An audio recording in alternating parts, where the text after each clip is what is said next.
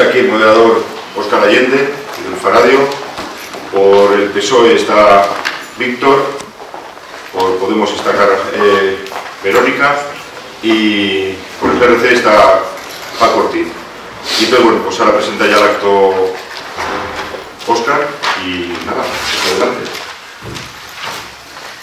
Vale, pues buenas tardes a todos y nada, muchas gracias por venir. En de los estamos, en de la plataforma Pantalla Público contra los recortes, la organizadora del acto. Lo que vamos a hacer es eso, hablar del Tratado de Comercio del TTIP y del Z, que es menos conocido, que es la parte equivalente, que es la parte canadiense, por así decirlo, ¿no? pues es algo que se está negociando ahora mismo, son unos tratados de libre comercio, están negociados a dos, a dos bandas entre la Europea y otros países, Estados Unidos y Canadá, en Europa, en nuestro país, en nuestros entornos más locales, además también, ¿no? Es un proceso que, bueno, que está siendo lento. la parte canadiense está siendo un poco más rápida de lo que la estadounidense, por ejemplo, pero bueno, en general lo que se busca es una reducción de los aranceles, que ya son bajos de por sí, liberalizar nuevos mercados, armonizar la legislación entre, entre ambos mercados para supuestamente para favorecer un poco más el intercambio comercial, eh, pero bueno, lo que se está poniendo muy en cuestión es el peso que se le da a las empresas privadas, a las grandes empresas privadas por encima incluso de las legislaciones nacionales, de los propios gobiernos eh, nacionales, locales, el peso que se da al tema público, la, el poco peso que se da a lo público, incluso los problemas que se dan de cara a incluso a derechos laborales, en un momento dado, al medio ambiente, ¿no? es bueno, los inversores extranjeros tienen un peso exclusivo, incluso pueden, tienen la capacidad de hacer demandas a estados, a legislaciones que no les interesen. ¿no? Entonces, bueno, la plataforma por lo público y contra los recortes viene trabajando conjuntamente desde hace mucho tiempo con organizaciones y plataformas de distintos puntos de todo el país y también con colectivos sociales por aquí, pues un poco para pedir la suspensión total de estas negociaciones por considerar que son acuerdos que son más económicos que sociales, sobre todo, y que están muy vinculados a temas de empresas, a, temas de élites empresariales a costa de derechos sociales, laborales, ambientales. Eh, poco a poco es un debate que se va ampliando lo que es en, pues en las instituciones, en la calle, ¿no? Eh, hay comunidades autónomas, Cantabria entre ellas, que se han declarado en contra del tratado.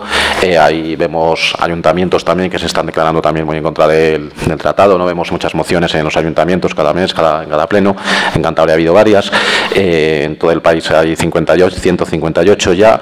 Y bueno, pues hay territorios incluso que se han declarado libres del TTIP, sobre todo en la zona de Gran Bretaña, Bélgica, Austria, Alemania. Entonces, bueno, eh, desde la Comisión Europea se están negando todas las informaciones que se están diciendo, ¿no? todos los efectos que se están denunciando, pero lo cierto es que lo que más se puede decir ahora mismo el TTIP manera es la gran opacidad que tiene. ¿no? Hemos visto que lo poco que se conoce ha sido por filtraciones eh, pues en medios de comunicación, en organizaciones ecologistas, pero hemos visto también escenas de, pues eso, de eurodiputados, representantes públicos prácticamente accediendo bajo custodia a, conocer los contenidos de los documentos, eh, con mucha desinformación, que además es, pues nos deja un poco más desarmados, lo cierto es que nos deja un poco débiles a la hora de, hablar del tema, ¿no? Entonces, bueno, pues además todo va en una línea de las políticas que se están tomando sobre manera europea últimamente, en tema de austeridad en exceso por decreto. Así que bueno, entonces está este acto que es el que lo que era, lo que querían era un poco conocer, pulsar eh, la opinión y el conocimiento que tienen los representantes de la ciudadanía en el Parlamento. Tenemos eh, representantes de los partidos, no de todo el arco parlamentario, pero bueno, estaban invitados todos, pero han acudido los compañeros de pues, Partido Socialista, Partido Regionalista, Podemos. Entonces, además teniendo en cuenta que bueno que, va a haber más actos que los que os cantaremos luego a lo largo de todo el mes eh, en adelante, pero sobre todo eso, el formato del debate, pues bueno, es eh, nos planteamos cinco bloques de preguntas sobre distintos temas que hay, distintos aspectos que van del sobre el Tratado de Libre Comercio, que van desde las negociaciones hasta sus efectos sobre el medio ambiente, lo público o los derechos sociales eh, o los servicios públicos. La idea es que sea bastante ágil, por lo tanto cada interviniente tendrá dos minutos para hablar del tema. ¿Vale? Nos consta que están bastante documentados y cuando acabe todo el bloque eh, sí que está abierto a las intervenciones del público también, ¿vale? Entonces se harán, preguntas del público, las, las leeremos aquí y también pues podrán responder también ellos a las, a las preguntas. Entonces, el primer, la primera parte han, sorteado entre ellos las intervenciones, el orden de las intervenciones. El primero en hablar en cada momento será Víctor Abascal, diputado del Partido Socialista. Casal. Casal, perdón. Abascal y Silvia. confundido. Víctor Casal, diputado del Partido Socialista. El segundo será Francisco Ortiz, del Partido Regionalista, alcalde de Astillero. Y cerrará las intervenciones Verónica Ordóñez, diputada del, del Grupo Podemos. Entonces, eh, la primera parte, por la que empezamos, hablamos de las negociaciones, ¿no? de cómo se están desarrollando las negociaciones y las adhesiones de los países de la Unión Europea. ¿no? La primera pregunta es si después de la salida a la luz de los documentos, sobre manera los que filtró Greenpeace en las reuniones sobre el Tratado de Libre Comercio entre la Unión Europea y los Estados Unidos hace ya casi un mes, esto fue el 2 de mayo, ha supuesto bueno, una apertura de la caja de Pandora de alguna forma sobre cómo se están llevando a cabo las negociaciones. ¿no? El hecho de que fuera una filtración nos hizo ver a todos sobre manera la eh, clandestinidad, iba a decir discreción, pero prácticamente es clandestinidad con la que se están con lo que se está tratando este tema. Entonces ahí tenemos la pregunta clave, ¿no? Es por qué hay tanto oscurantismo en estas negociaciones, ¿no? Si por pocos medios y por los movimientos sociales es lo que estamos conociendo, no por quienes están llevando el peso de las negociaciones, ni siquiera se ha presentado un proyecto públicamente. ¿Por qué creéis que se está dando esa falta de transparencia en la información? ¿Qué es lo que creéis que hay detrás, ¿no? de todas estas medidas? Víctor. Bien, gracias. Esperemos que hoy no, fallen las pilas al micrófono, que no es la primera vez. Eh, bueno, también destacar que somos los tres partidos que nos opusimos en una PNL aquí en el, Pleno del Parlamento a, la aplicación del tratado. Y quizás eso sea significativo también de que seamos otra vez nosotros tres los que, los que estemos aquí para, exponer un poco nuestra opinión o nuestra, nuestra visión sobre, sobre el mismo. Negar que, existe cierto oscurantismo o cierta opacidad sobre, sobre este tratado es una, una evidencia, aunque sería más razonable utilizar el término confidencialidad.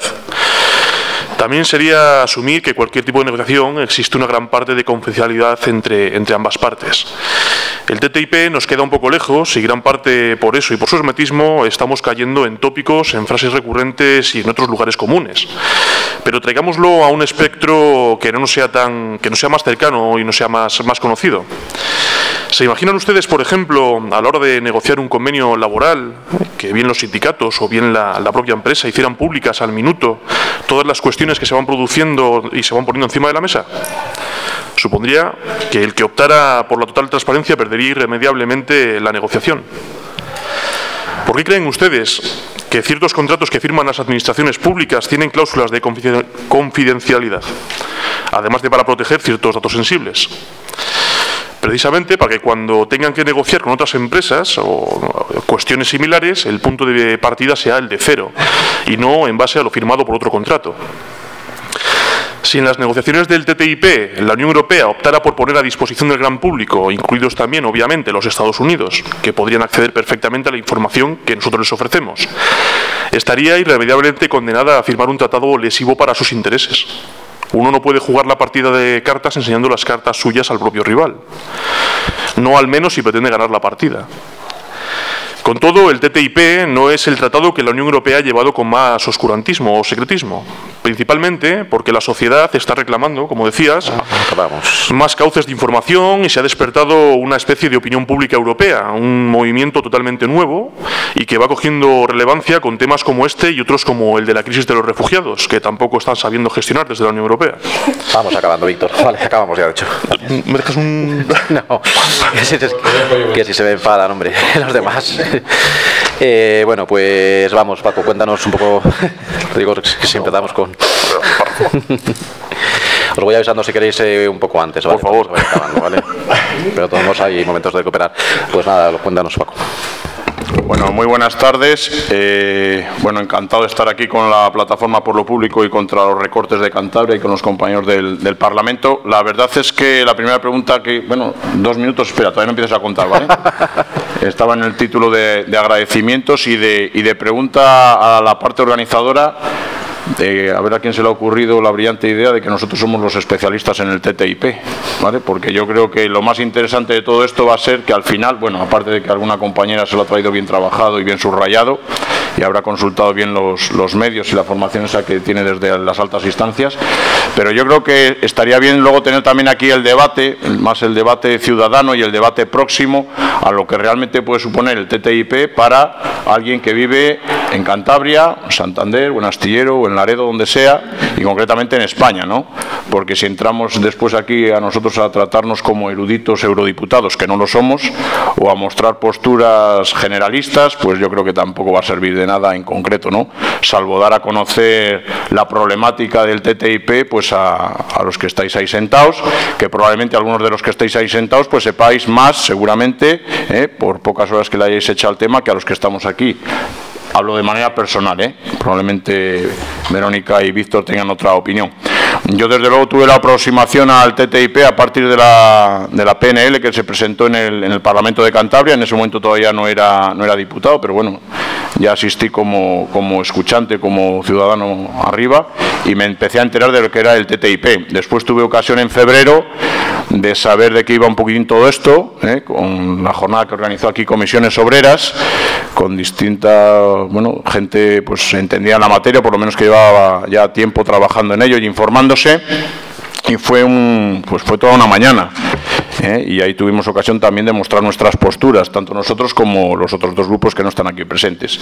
O sea que a partir de, de esta premisa, considero que esto no va a ser una prueba de acceso a eurodiputado Vamos y a que las manifestaciones... Sí, ya, ¿verdad? Pues me estoy enrollando mucho. Ya, Ya. ya voy a la pregunta.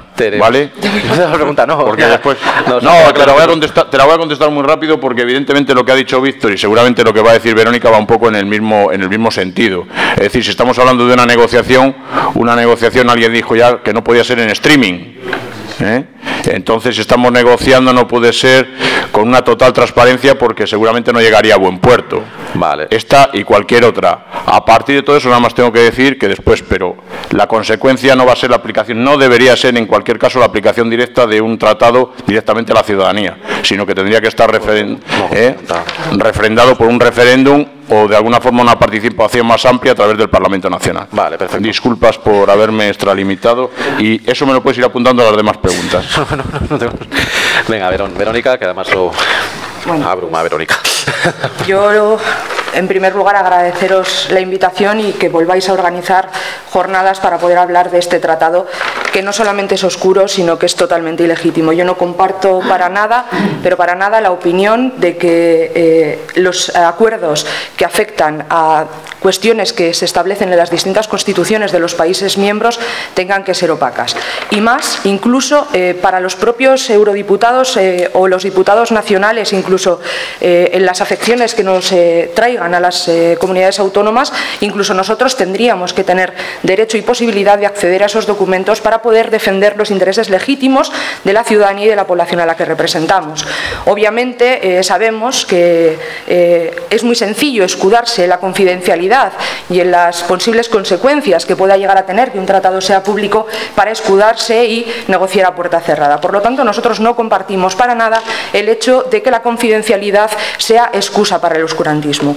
Y además lo hemos visto hace poco a partir de la filtración de Greenpeace Holanda y, y hay un hecho muy claro y es que eh, en la Comisión Europea hubo una reunión el día 20 a puertas cerradas de expertos nacionales en comercio y pues la conclusión de esa reunión fue que la comisaria Cecilia Malmström decidió que, como medida de precaución después de esta primera filtración, se suspende la difusión de los anexos restringidos a los informes periódicos sobre los resultados de las rondas de negociación. ¿Qué significa esto? Bueno, pues que los pocos avances conseguidos en materia de transparencia, que no eran muchos y que simplemente consistían en que los eurodiputados pudieran entrar sin cámara, sin bolígrafo y sin estas cosas a las salas, y también dentro de los propios estados, en, los ministerios de Economía también había salas de lectura, pues esto, este pequeño avance que se había conseguido en materia de transparencia vuelve a quedar restringido, volvemos a no saber nada. Vamos acabando, te sobra incluso. Yo casi. Ah, te sobra en todo. Para- para más concreción. Sí. Nada, por ejemplo, hay una parte ¿no? que al ser es un tratado internacional, es entre, entre varios países, varios conjuntos de países, eh, pues mucho en juego lo que está pasando, las relaciones al final entre los poderes, ¿no? entre ejecutivo, legislativo y demás, porque puede sa- pasar ¿no? que, el hecho de que un país lo apruebe no implica que, que esa decisión la corrobore su propio parlamento, podría pasar, ¿no? Es decir, el- la fórmula de las adhesiones es una cosa que está, que está ahí en el debate, ¿no? Cómo se puede cada país adherirse a eso si pasa por el Parlamento y más aún si es una cosa tan importante si no debería ser algo que afectará por un, incluso un referéndum, ¿no? ¿Cuál será el mecanismo que se emplee en España, ¿no? Por ir a lo más cercano para adherirse a estos tratados, si por eso si va a ser una decisión del gobierno, si va a ser una decisión del Parlamento, el gobierno representado por el Parlamento, o si incluso podría ser un referéndum, como en otras ocasiones en España ha habido referéndum. Sí, es una cuestión realmente controvertida y lo es principalmente porque todavía parece que no se ha decidido cuál va a ser la, forma en la que los Estados miembros adhieran o no al tratado. Si me preguntáis mi opinión, eh, creo que debería hacerse con una consulta en términos similares a los que se hizo la Constitución Europea. Actuar en consecuencia a lo que diga la voluntad del pueblo soberano, que para eso está. Otra opción eh, sería que las representantes de los diferentes gobiernos de los Estados miembros, es decir, el Consejo de Europa, o el Consejo Europeo, mejor dicho, formando por los 28 presidentes nacionales o el Parlamento Europeo, tomaran la decisión por nosotros. No es la opción que yo valoraría como recomendable, pero no podemos decir que fuera menos legítima o democrática, puesto que a esos integrantes les hemos elegido nosotros. Sin embargo, la que más peso parece que está ganando y parece que será al final la que se vaya a tomar es que lo aprueben los 28 parlamentos de los Estados miembros. Y si uno solo lo rechaza, se caen todos. Como todo, como les decía, creo que esta decisión no está tomada, pero el simple motivo de que ninguno de estos tratados comerciales parezca estar cerca de firmarse y los borradores de los proyectos siguen subiendo modificaciones, habrá que seguir esperando por qué modelo optan. Perfecto, muy bien. Eh, Paco. Bueno, pues evidentemente si ya en la primera fase, que es la que se está desarrollando ahora mismo, cuál es la negociación, estamos viendo que este oscurantismo o esta no transparencia y estas dificultades ya implementadas desde el mes de mayo no son para nada favorables a que la ciudadanía conozca de qué van estas negociaciones y cuáles son los puntos que más directamente nos pueden afectar, como comprenderéis, para cualquier votación lo primero hay que estar informado. Si de momento estamos en una fase de no información, y yo sí que considero, por supuesto, al igual que me imagino que los compañeros, por lo menos ya, ya, ya nos hemos manifestado en otras ocasiones, hay que tener, si no es un referéndum, por lo menos es una participación ciudadana importante desde los parlamentos. Yo considero que incluso no sería válida la opinión de que diera el voto por España solamente una persona, aunque fuera el presidente de la, de la nación, sino que debería ir al Parlamento de la Nación, donde ahí por lo menos están representados ya, vamos a decir, de alguna manera todos y cada uno de los españoles. Luego, que pase por el Parlamento de España y, eso sí, que haga, que tengan oportunidad los grupos políticos de hacer, pues bueno, pues unas mini, ¿eh? mini, mini, mini campaña electoral o por lo menos expresar cada uno en base a la información que evidentemente tiene que llegar después de estas negociaciones cuál va a ser la postura, nada más. Votar, pero de manera informada. Muy bien. Pues nada, Verónica.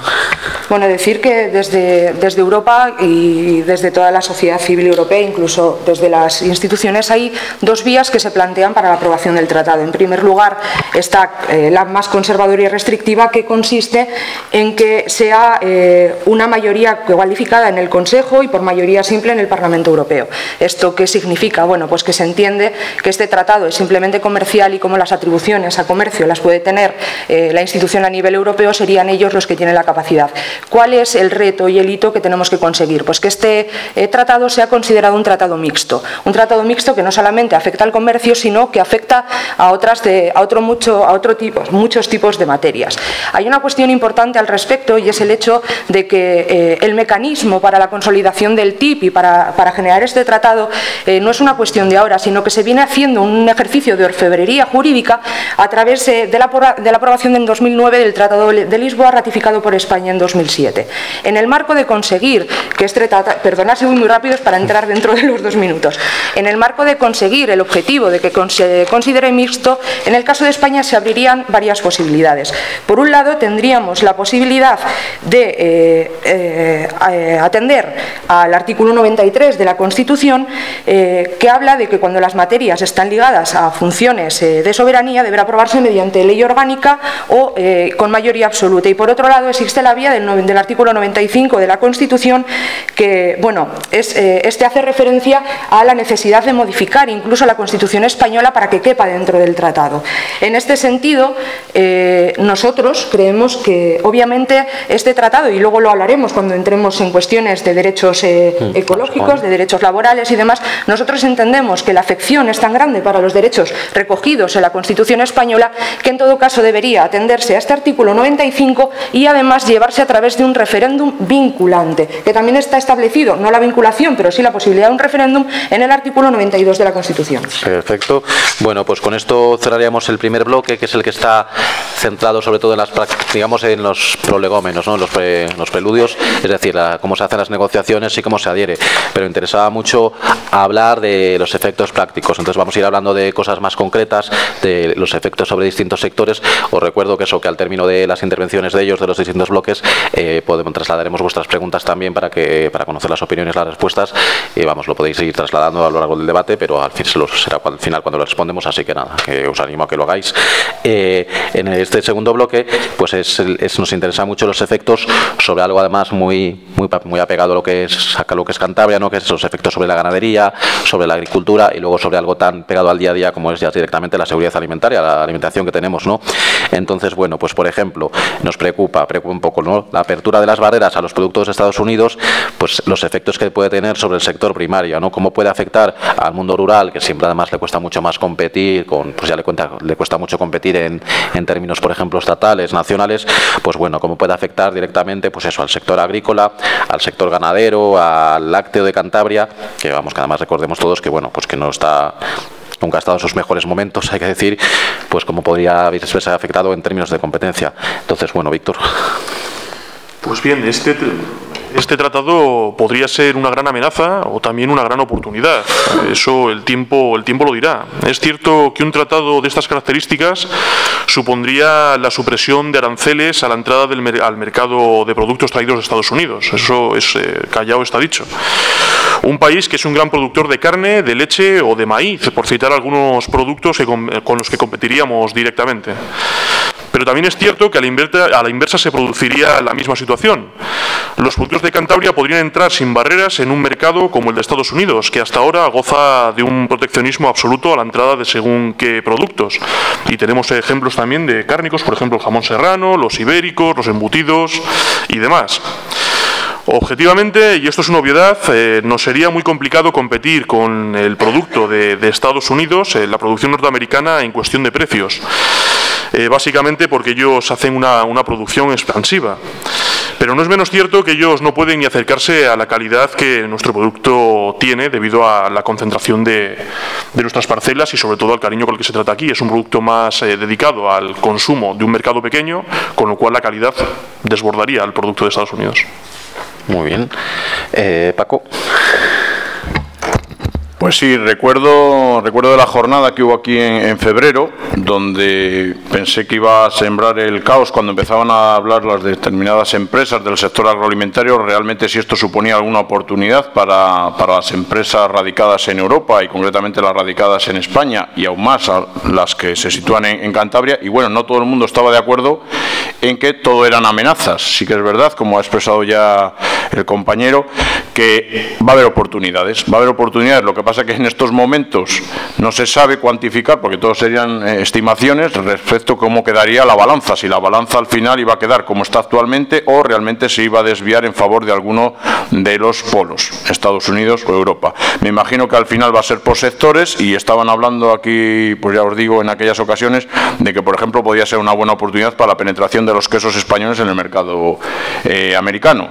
Al final yo creo que aquí nos están invadiendo día a día las grandes multinacionales, sean europeas o sean las grandes marcas de fabricación nacional, para competir con nuestro producto regional. Y al final, pues, ¿qué os voy a decir? Al final, pues cuando uno va a un supermercado, cuando uno va a una tienda a comprar, optas por calidad, optas por calidad o por precio. Y en el mejor de los casos optarás por un precio competitivo, calidad-precio. Eso es lo que nos va a decir día a día, pero a día de hoy yo creo que no se puede avanzar casi nada. Muy bien, Verónica. Vuelvo a discrepar de mis compañeros. Yo no considero que sea una ventana de oportunidad ni para Cantabria, ni para el Estado, ni siquiera para ninguno de los Estados de la Unión Europea. Sí puede serlo en el marco eh, para algunos países, por ejemplo, porque sí que hay determinados productos, y tú has hecho la referencia al queso, eh, que se están protegiendo, pero se está sacrificando, por ejemplo, la cuestión de la leche en pos de llegar a un acuerdo que permita a la industria del queso a la fuerte, que en ningún caso es la española, sino sobre todo la francesa, el que ellos puedan llevar eh, a Estados Unidos su producto. Además, eh, no nos olvidemos de que vivimos en un marco eh, económico en el que, por desgracia, las personas tenemos que elegir, dada la situación económica, muchas veces anteponer el precio a la calidad. Y en ese marco nosotros perdemos y perdemos porque, por suerte, tenemos unas normas que nos protegen tanto de cuestiones químicas como puedan ser las hormonas, de otro tipo de cuestiones como puedan ser los fertilizantes, de cuestiones que nos protegen de elementos químicos. Eso en Estados Unidos no existe. ¿Qué supone? Pues que los costes de producción son muy inferiores a los nuestros, por lo que pueden producir eh, mucho más barato. Y además teniendo en cuenta que nuestras empresas son, eh, no sabría decirte el número, pero infinitamente menores a, eh, a, las que tienen ellos, lo que supone que ellos también pueden competir en, en superioridad. Cuestiones como internacionalización, como venta al exterior y todo este tipo de cuestiones, nosotros estamos en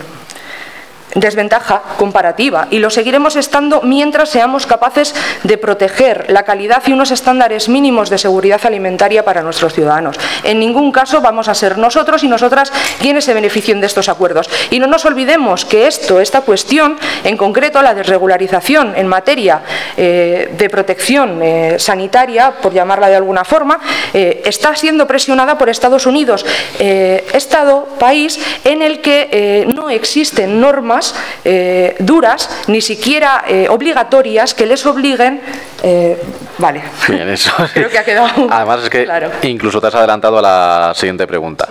Porque la pregunta específica es eso, es algo que está un poco en la mente de todos, ¿no? Que es, bueno, pues que las normas de seguridad alimentaria son diferentes entre los países y se van a armonizar. ¿Qué pasa, no? Sobre manera cuando en Estados Unidos, por ejemplo, pues sí que hay más libertad respecto al tema de los transgénicos o la producción, las hormonas para la producción cárnica, cosa que en Europa está prohibido, ¿no? Es decir, no es la misma forma de tratar al ganado, a la alimentación allí que aquí. Entonces, la pregunta que se nos surge es eso, ¿no? qué garantías va a tener el consumidor europeo, ¿no? de que lo que venga de Estados Unidos cumpla con las normas nuestras, que además en este caso es un caso muy claro de disparidad de normas. Aquí los transgénicos no están en Europa autorizados y en Estados Unidos no sí. Entonces, ¿eso qué significa? ¿Cómo se va a cumplir? ¿O va incluso que haber que cambiar las normas europeas en esta materia? Víctor. Bien, lo decía en el bloque anterior y creo que existen demasiados mitos y bulos eh, provocados fundamentalmente por el exceso de celo con el que se está guardando cierta información por parte de la Unión Europea a la hora de llevar adelante este tipo de negociaciones. El tema de los transgénicos, las hormonas de crecimiento en la carne, la utilización de ciertos fármacos allí que son ilegales aquí y un largo etcétera, son algunos de estos puntos conflictivos y, perdónenme la expresión, también con los que más demagogia se está haciendo y con los que más se está mintiendo y confundiendo a la ciudadanía. Por parte de nuestro partido y de nuestro grupo a nivel europeo, que también hay que tener en cuenta que no es lo mismo, aunque tienda a confundirse, este es el firme compromiso de que se preserven los estándares de calidad de, la Unión Europea. Y a este respecto, la Unión Europea tiene una firme aplomo por no modificar ni una sola de las normas de seguridad alimentaria. Además, como tampoco existe un consenso ni una legislación, como decía Óscar, europea, en torno al uso de transgénicos, serán los Estados y no el tratado, en última instancia, los que acepten o no la entrada de este tipo de alimentos en sus fronteras nacionales. Vale. Paco. Pues un no rotundo, un no rotundo a lo que sería rebajar nuestros niveles de seguridad alimentaria. Evidentemente, yo creo que a lo largo de los años ha ido mejorando importantemente en, España y en Europa, cada uno lo estará aplicando de distintas maneras en sus países, pero en Europa pues se ha estado dando, en perdón, en España se han estado dando pasos muy importantes en, en torno a la, a la calidad alimentaria. Eh, asuntos como los que habéis citado de los transgénicos y las hormonas de crecimiento para el ganado de carne o de engorde, pues si aquí no están permitidos, no podríamos permitir de ninguna de las maneras que por la puerta de atrás y a través de un tratado de estas características tuviéramos en nuestros stands y en nuestras casas productos de este tipo. Un no rotundo a rebajar los niveles de seguridad claro. Y Verónica, bueno, casi que podía seguir cuando la habías dejado. Voy a seguir un poco porque eh, yo no comparto con que esto sea generar determinada inquietud. Es que se sabe positivamente que uno de los, de los caballos de batalla que están llevando las transnacionales, los lobbies que están apretando para la firma de este tratado, refiere concreto a eh, las regulaciones eh, de, los, de Europa en general y de los distintos estados en materia de seguridad alimentaria, que incluye cuestiones como los organismos genéticamente modificados, los pesticidas, la carne tratada con hormonas y incluso la hormona de crecimiento que allí se suministra habitualmente. Entre otras cosas, porque también podríamos hablar de los pollos clorados, que estaba prohibido en España, bueno, de un montón de cuestiones que en España están prohibidas. Y además no nos olvidemos que en Europa eh, prima el, el principio de cautela y en Estados Unidos no. ¿Qué significa esto? Bueno, pues que es la empresa la que tiene que demostrar que su producto no es nocivo para la salud.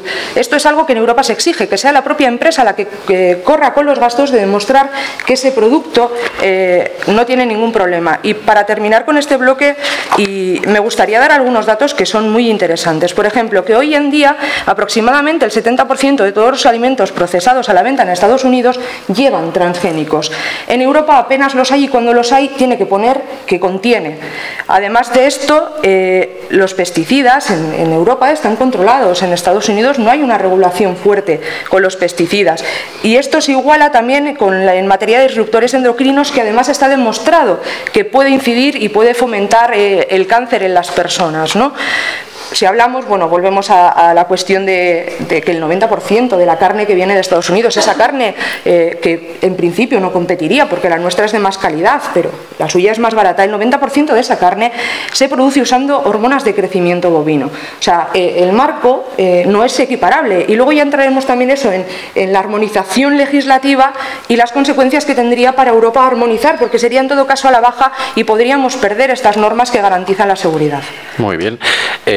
Este bloque, el siguiente bloque eh, está centrado también por un tema que, interesa bastante en Cantabria, que es el tema de la energía, eh, por distintos motivos además, porque todos recordamos que en Cantabria ha habido muchísimo movimiento y muchísima preocupación por el tema de la lucha contra el fracking, la fractura hidráulica, ¿no? pues que hemos ha habido mucho movimiento, una plataforma específica, ha habido muchas acciones que todos hemos visto, ha habido legislación específica a Cantabria, que estamos pendientes al final de, qué pasa, porque ha habido hay conflicto de intereses con el gobierno central al respecto, ¿no? Entonces, bueno, sí que queda claro que hay una voluntad unánime, bastante unánime en Cantabria contra, contra el fracking, contra la fractura hidráulica.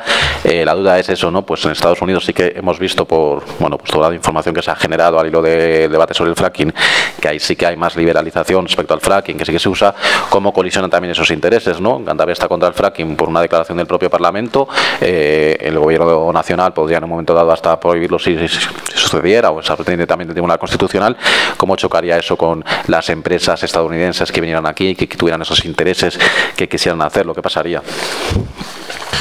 Bien, tenemos que recordar que el TTIP es un tratado comercial y por tanto rige unas normas de intercambio. Punto. En ningún momento puede ni debe entrar a valorar las leyes de protección medioambiental de los Estados miembros, que si se vieran alteradas serían por decisión propia y no por imposición ni de Estados Unidos ni de la Unión Europea, y mucho menos por un tratado comercial. Con esto quiero decir que el TTIP no tiene ningún tipo de facultad legal para obligarnos a producir combustibles por el método de fractura hidráulica o fracking. Nosotros, tanto a nivel nacional como autonómico, podríamos valorar entrar a competir o no en ese mercado y creo que la respuesta, a menos a nivel autonómico, ya está más que dada. Un no rotundo. A nivel nacional, al menos de momento, sí que tenemos un gobierno proclive a la explotación de ese tipo de extracción por obra y gracia del ya exministro Soria. Aún así, existen fórmulas eh, más que suficientes para que las comunidades autónomas puedan impedir ese tipo de extracción de gas y hasta el momento se, se está consiguiendo. Muy bien, Paco. Bueno, pues como bien decías, aquí en Cantabria ya hemos dicho fracking no, lo ha dicho el Parlamento, lo ha dicho la gente en la calle y somos una de las comunidades autónomas que al Gobierno de España le hemos dicho que aquí no es, no es el lugar adecuado para hacer fracking. Yo no sé si en algún otro territorio de España sería adecuado, pero si ya nos hemos manifestado así cuando nos han querido traer el fracking o imponérnoslo de alguna manera o presentárnoslo desde, desde Madrid, desde el Gobierno central, ahora mismo, pues de igual manera que estamos hablando de la protección a las personas en temas de seguridad alimentaria, en el, punto anterior, pues la protección medioambiental, que en este caso también afecta directamente a las personas, tiene que estar encima de la mesa en primer lugar. Fracking no, con TTIP o sin TTIP, no podemos decir otra cosa. Muy bien. Verónica. Bueno, aquí hemos dicho fracking no, pero también hemos concedido los permisos que ahora mismo está utilizando gas natural para reclamar seguir avanzando en esas prospecciones. Entonces, volvemos a decir fracking no, pero, pero vamos a decirlo de verdad, ¿no?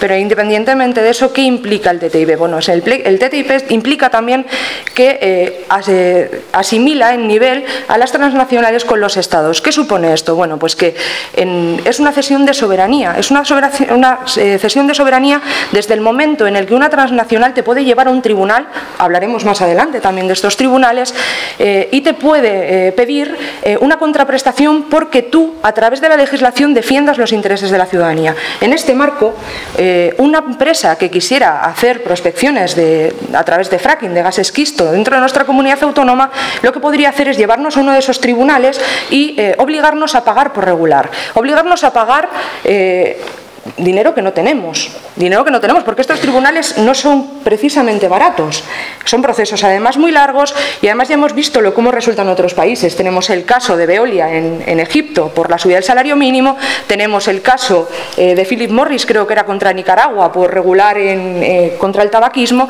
Estamos viendo ejemplos en los que eh, llevar determinada legislación para proteger a la ciudadanía supone que primero vayas a juicio, que puedas asumir entrar en ese juicio y además lo que puedas perder por tener que eh, indemnizar a una transnacional por las posibles pérdidas por no poder ejercer su trabajo. ¿no? Entonces, en este caso, eh, perderíamos la capacidad para poder decidir qué es lo que tenemos que defender. ¿no? Y que tenemos que defender, no se nos olviden que son eh, a las personas, a la ciudadanía, a nuestros propios intereses.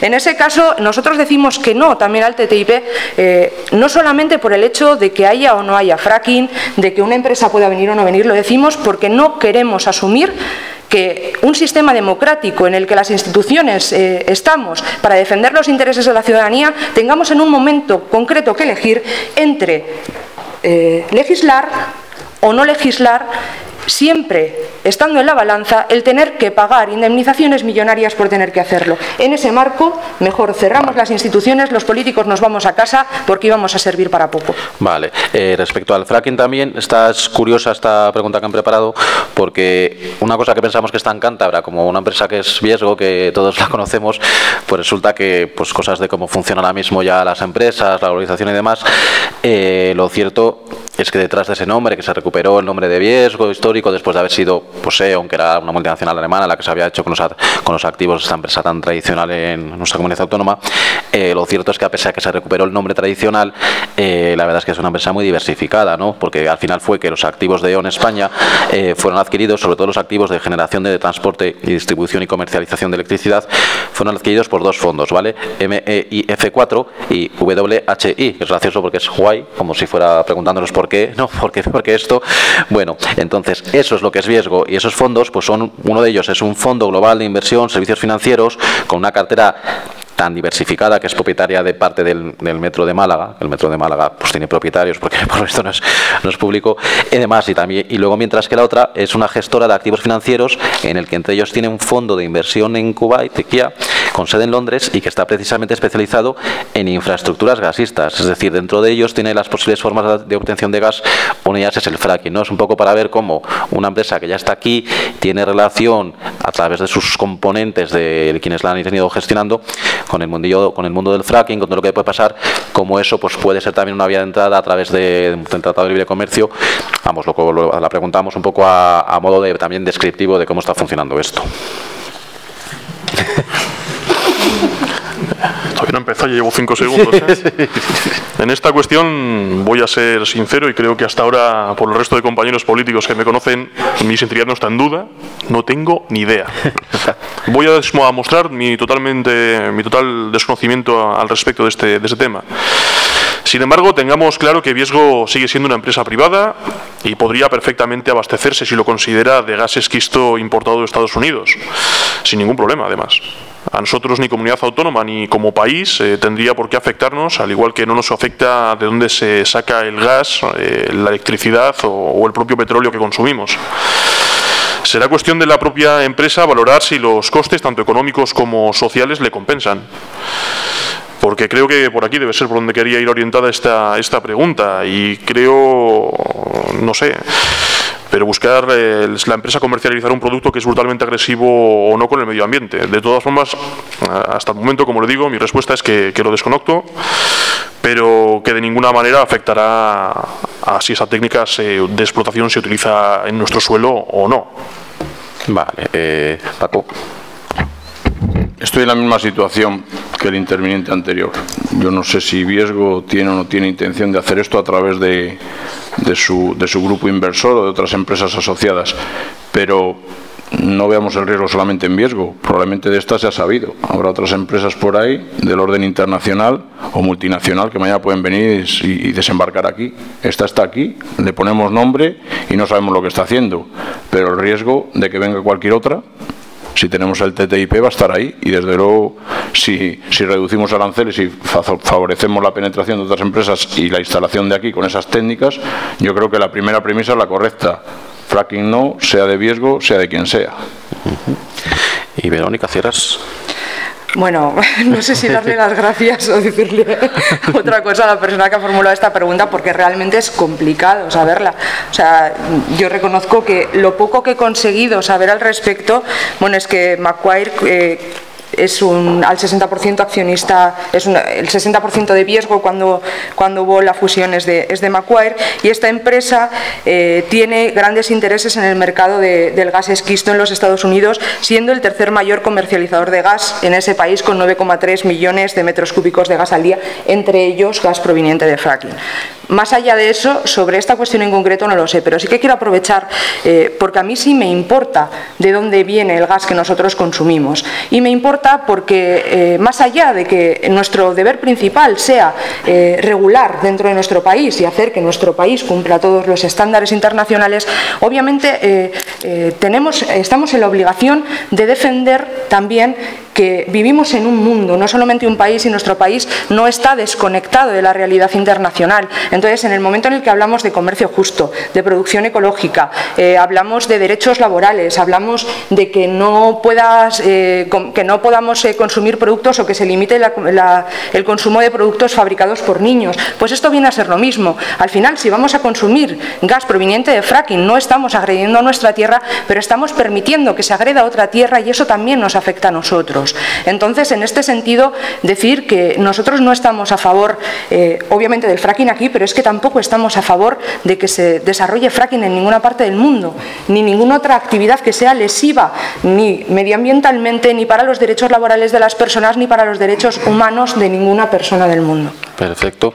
Bueno, pues sí, la, la pregunta era compleja, pero sí que era interesante hacerla, sobre todo por ver cómo de complicado se ha vuelto el mundo de la empresa, el mundo de la energía, el sector energético, ¿no? Es un poco para ver cómo una empresa que es energética en el fondo son fondos financieros prácticamente, ¿no?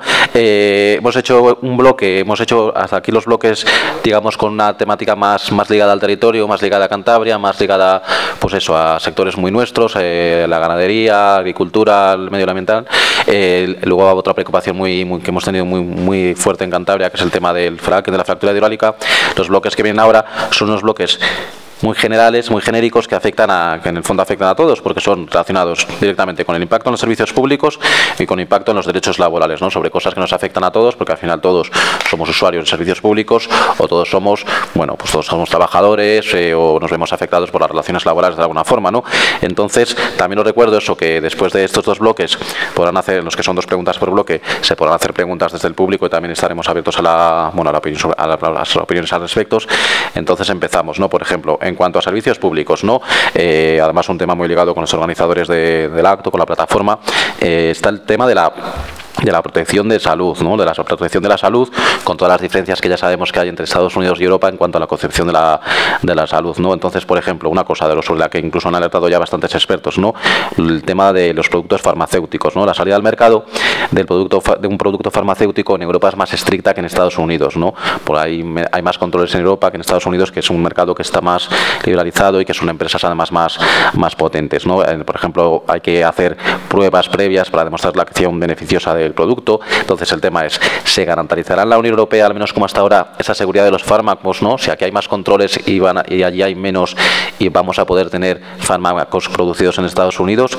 Bueno, pues con esa desregulación, con esa armonización de normas, ¿por dónde va? ¿Va hacia, inclina la balanza hacia la desregulación o hacia, digamos, el mayor control?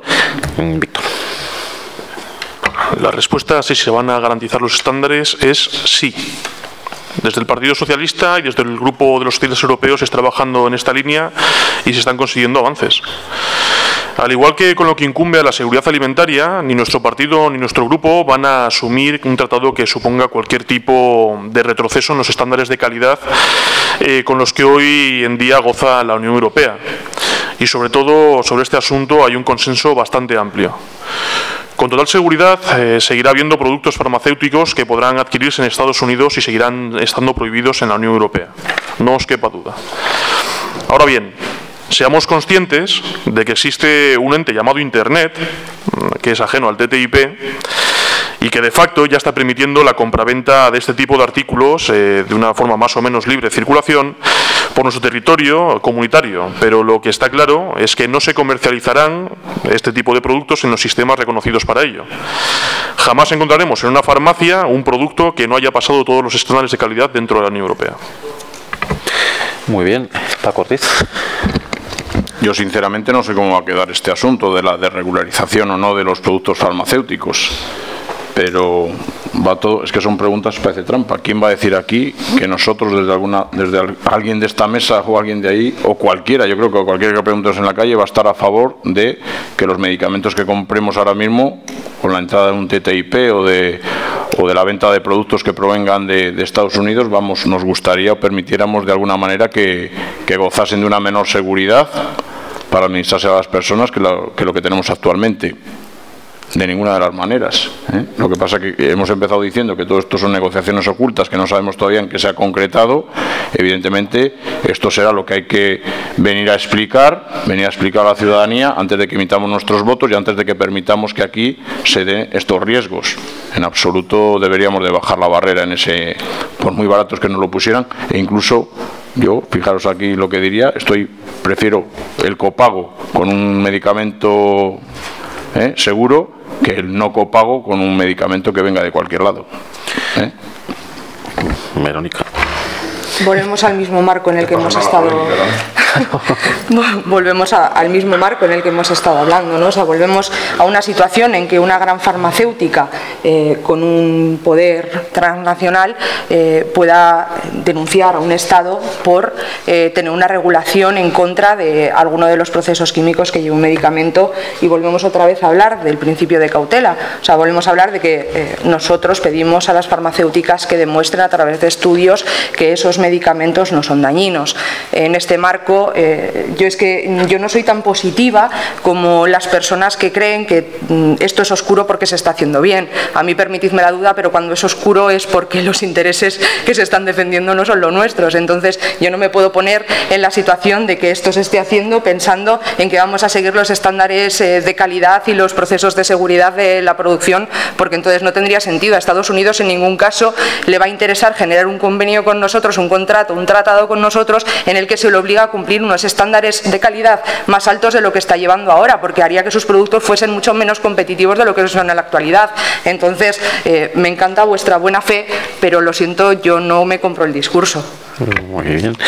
Derivado de esto, aunque también si no tenéis más que aportar podéis responder de alguna forma lo que queráis, eh, también está, hemos hablado un poco de la entrada de los, de los fármacos en nuestro, país, en la Unión Europea también, eh, pero luego ya está otra cosa que es el acceso, ¿no? ¿Cómo se puede garantizar, ¿no? Es diferente el acceso, la cultura de acceso al medicamento, a los fármacos es diferente en Estados Unidos que en la Unión Europea, en especial en España, ¿no? ¿Cómo se va a garantizar el acceso a los fármacos necesarios para el tratamiento de enfermedades en países pobres o en personas que directamente son más desfavorecidas si no tienen esa cultura ni esa situación de acceso ligado a la situación económica.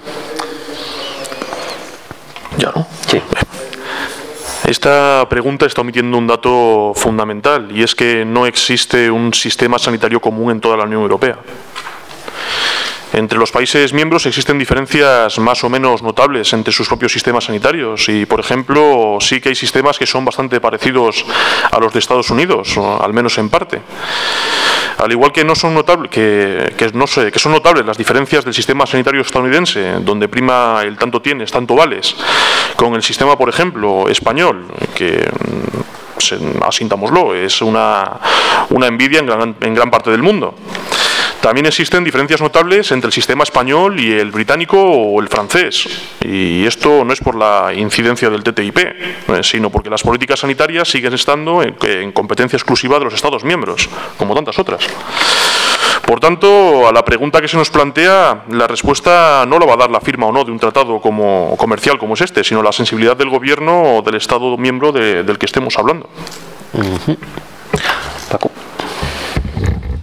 Eh, lo primero que diríamos es que la garantía de la atención sanitaria en España me imagino que tiene que estar regulada y amparada por los criterios de los médicos. Es decir, determinados medicamentos tendrán que ser administrados a los pacientes en atención a que un médico se lo ha prescrito salvo lo que estáis comentando, que bueno, el Internet es muy potente, el e-commerce, pues bueno, a través de Internet puedes pedir que te traigan a tu casa cualquier prenda o cualquier medicamento de cualquier parte del mundo y calculo que nadie te lo va, te lo va a requisar ni te lo va a supervisar, ¿verdad? Pero si estamos hablando de que el servicio ¿eh? de salud, ya no el cántabro, sino el español, tendrá que tener un médico de por medio antes de administrarnos estos, pues también estarán las autoridades que son responsables de saber lo que se nos administra. También en el momento actual sabemos que han venido medicamentos que han causado daños y perjuicios importantes y bueno, pues no estamos libres, pero desde luego bajar los niveles de ninguna manera. Yo para mí siempre los farmacéuticos, las autoridades en temas de farmacia y de medicina tienen que estar velando por esto en atención a lo que nos van a suministrar. Muy bien. Y Verónica Cierras. Aquí hay una cuestión clave. Independientemente del sistema sanitario que tenga cada uno de los países miembros, está claro que cuanto más barato sea el medicamento, más fácil es que el Estado pueda proporcionarlo eh, sin copagos y de forma gratuita a la ciudadanía. Entonces, en este marco en el que el TTIP, una de las cosas que hace es potenciar las patentes, eh, limitando así el acceso a los medicamentos genéricos, obviamente nos lleva a un modelo eh, que saca el acceso a los medicamentos de la sanidad pública. Y esto en un contexto además en el que el acceso a la medicación, a las distintas medicaciones, ya no es asumible por gran parte de la población, no solamente española, sino europea, por el alto coste y las rentas bajas. Entonces, eh, todo este tipo de tratados que al final eh, lo que están haciendo es, pues bueno, eh, potenciar las patentes, están haciendo también los derechos de propiedad, todas estas cuestiones lo que hacen al final es que no se pueda trabajar en medicinas genéricas y eso a quién revierte obviamente revierte sobre nuestro sistema sanitario. Da igual si el nuestro contempla que la medicación está subvencionada o no, o que te la tengas que pagar tú. Si tú no puedes eh, vender dentro de tu país o no se pueden generar medicamentos baratos, eh, no tiene nada que ver con el, con el modelo. O sea, significa que hay muchas personas que en ningún caso van a poder acceder a ello y en el caso en el que los medicamentos son subvencionados, que el Estado no va a tener capacidad económica para sufragar eh, un mayor número de medicamentos a la ciudadanía, entonces tendremos que abordar copagos mucho más importantes. Ese es el marco igual cuál sea el modelo de cada uno de los estados. La cuestión es que el precio del medicamento sube porque se dificulta el acceso a la medicación genérica y también no solamente a las medicaciones genéricas, sino a otro tipo de tratamientos eh, eh, alternativos. Muy bien. Vale, pues de cerrado este, este bloque ligado a los servicios públicos, en especial a la sanidad, a algo tan básico como los productos farmacéuticos para nuestras enfermedades, eh, nos quedaría hablar de un tema bastante interesante, ¿no? que es el tema de los derechos laborales y los tribunales de arbitraje. ¿no? La entrada amigos del, del tratado abre la puerta, pues eso, ya sabéis que se habla mucho del tema del peso que tienen las empresas de Estados Unidos o Canadá en tema legislativo y por supuesto entonces, claro, se entra en tema ya de legislación laboral americana en frente a la, que podamos tener aquí. ¿no? Entonces, por ejemplo, la primera pregunta es, ¿no? ¿en qué condiciones quedan los derechos laborales? Tema de salud laboral con la entrada de una empresa americana que tiene capacidad de hacer objeciones a nuestras legislaciones propias, ¿no? Como se veían afectados derechos como el derecho de huelga, la sindicación, eh, los permisos por motivos de salud, bajas, vacaciones, ese tipo de cosas que estamos muy acostumbrados a ellas. ¿Qué pasaría si una empresa llega y estás en una empresa americana, si, digamos, pero que esté trabajando aquí, si eso cambiaría de alguna forma? Bien, por desgracia me imagino que ya conozcan la famosa directiva Bolkestein que está en vigor desde 2006. Esta directiva comunitaria ya tuvo que ser enmendada precisamente por los conflictos que suponía la aplicación del principio del país de origen, que es exactamente lo que, lo que se plantea en esta, en esta pregunta. En la práctica suponía que para favorecer el movimiento de las empresas por suelo europeo se mantuvieran las condiciones laborales del país del mm, origen de la empresa, para que así no tuviera que aprenderse la legislación del resto de 27 países miembros. Esta situación estaba muy bien si una empresa alemana o francesa decidía instalarse en suelo polaco, por ejemplo, ya que fue uno de los casos eh, redundantes, ya que las condiciones laborales de los trabajadores de esas empresas eh, serían muy superiores a las de la media del país receptor. Sin embargo, la situación valía para el viaje inverso y si una empresa polaca se instalaba en Francia o Alemania, las condiciones laborales a las que sus trabajadores se habrían sometido serían inasumibles. Esta era la teoría expresada por Philippe de Villiers, eh, con el caso paradigmático del fontanero polaco, que quizá le suene, y acabó materializándose en Suecia con una empresa de Letonia. Aprendido y corregido este error, la Unión Europea no va a tirar por tierra eh, la legislación, su propia legislación, para recaer en un problema en el que ya cayó hace 10 años y que generó fuertes tensiones entre los propios Estados miembros, generándose reticencias entre unos y otros. Por tanto, eh, podríamos afirmar con contundencia que la situación laboral de las empresas norteamericanas que se sigan, que se sigan asentando en nuestro territorio, que ya las hay, seguirán siendo exactamente como ahora, las del país receptor. Vale, Paco. Totalmente de acuerdo con Víctor.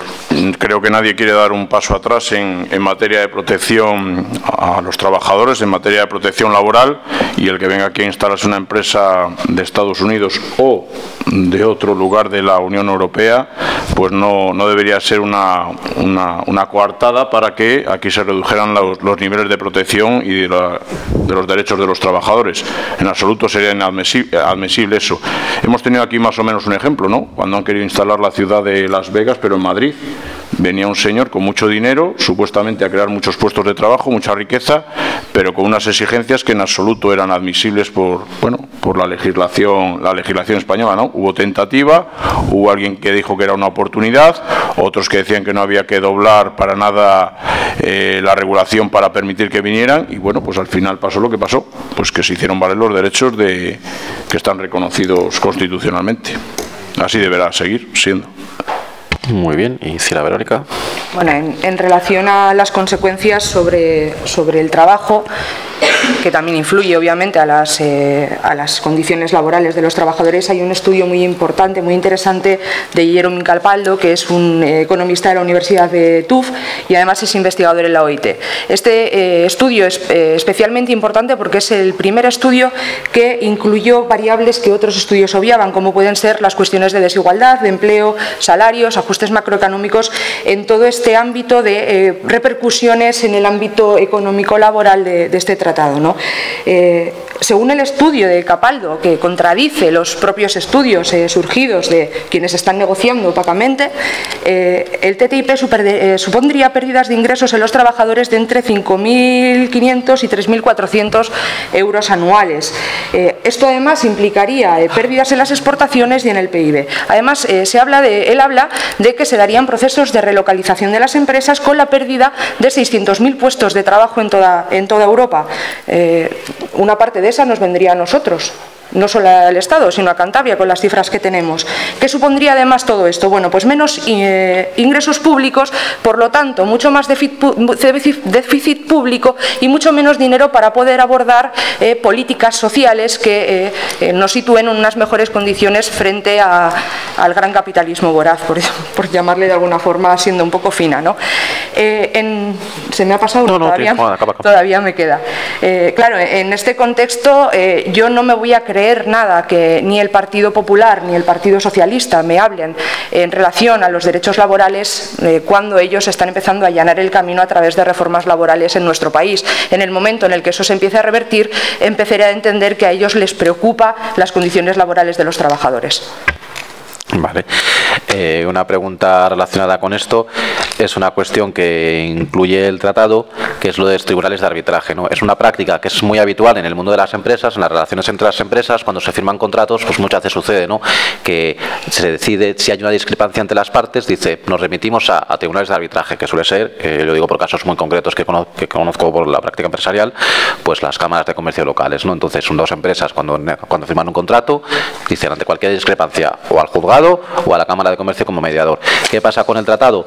que eleva esto a un nivel más superior, a un nivel además que es entre relaciones ya directamente entre fuerzas económicas más muy fuertes y además dándole el mismo peso a empresas, a instituciones y gobiernos. ¿no? Entonces hay que dar las dudas ¿no? sobre esos, tribunales de arbitraje a los que se someten los acuerdos, eh, pues bueno, si están dotados por encima de un poder regulador de los, de los gobiernos de los países, ¿no? si de repente un agente externo va a decidir sobre estas cosas y sobre todo la composición de esos tribunales, el peso que tengan unos y otros, ¿no? por ejemplo la, duda ¿no? si es cierto que las empresas de Estados Unidos o Canadá pudieran tener prioridad o beneficios frente a los propuestos en los tribunales de arbitraje, porque podría ser así, un poco también ¿no? el pequeño debate sobre quién decide, quién decide la composición de esos tribunales. Víctor. Bien, eh, afirmar categóricamente que ninguna institución europea permitirá restringir las competencias judiciales nacionales. Por lo tanto, ninguna empresa tendrá preferencia sobre otra ni sobre los intereses nacionales de ningún país. Por cierto, la cuestión de los tribunales de arbitraje, si es el nombre que se les quiere dar, eh, no son novedosos precisamente. Es más, existen y funcionan desde los años 50 del siglo pasado. De hecho, España tiene firmados más de 70 tratados que se incluyen. Ahora bien, estos tribunales ni son ni van a ser creados en función de los intereses de uno de los dos litigantes. No se van a componer, como se pretende hacer ver, por lobbies. Los socialistas a este respecto consideramos que hará falta crear un sistema sujeto a principios de supervisión democráticos integrados por jueces profesionales independientes y donde se respete la jurisdicción de los tribunales de la Unión Europea y los Estados miembros, donde los intereses privados nunca, nunca prevalezcan sobre el interés público y las políticas públicas. De hecho, todo apunta a que esta será la opción por la que más se apueste y será la que velará por mantener los derechos de las partes implicadas. Muy bien.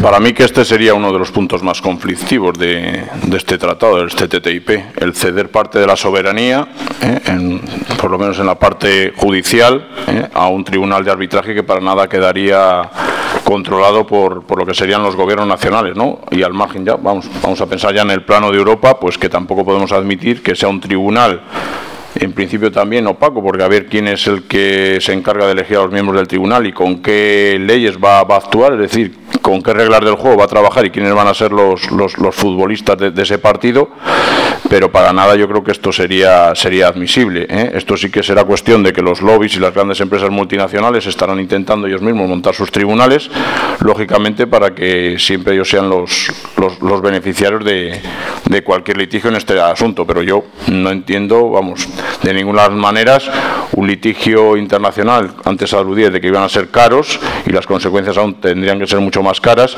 cuando una gran multinacional puede permitirse pues bueno, emprender un pleito contra un contra un Estado. Vale, y Verónica Ceras.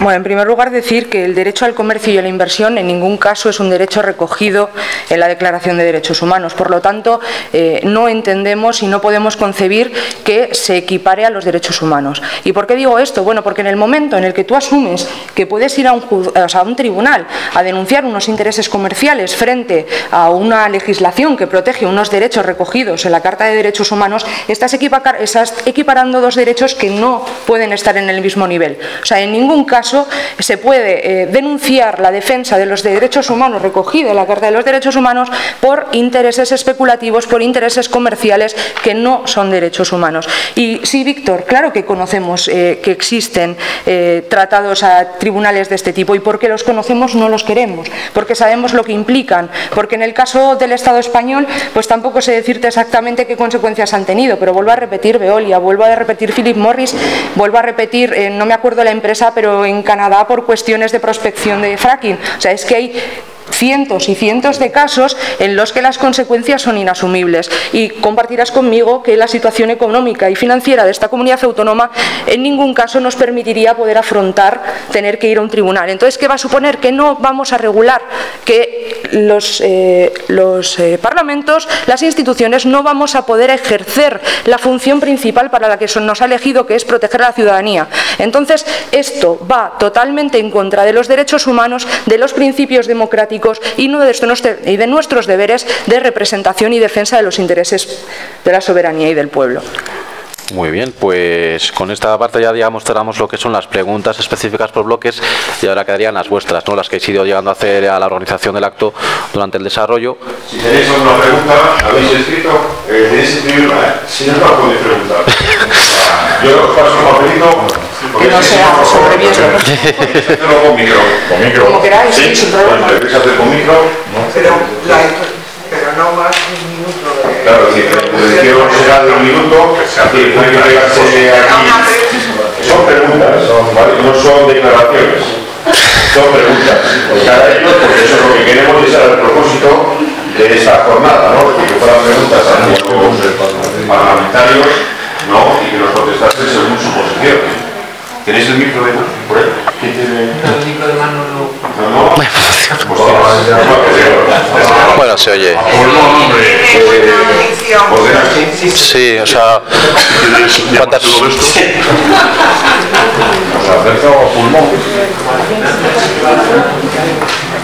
Vaya pregunta. A ver, tenemos por ahí el fondo. Levantéis las manos todos y os apunto, ¿vale? Buenas. Primero, muchas gracias por a los diputados por hacer este tipo de debates.